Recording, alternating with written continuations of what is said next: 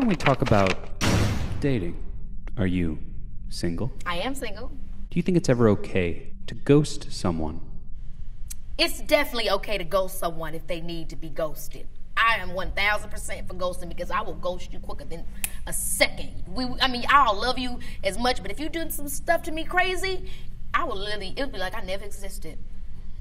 Literally. Once he's done, he's cut. What the hell is. Ooh, y'all are really testing me on some stuff that I. I hate to say it. I hope I don't sound ridiculous. I don't know who this man is. I mean, he could be walking down the street. I wouldn't. I wouldn't know a thing. Sorry to this man.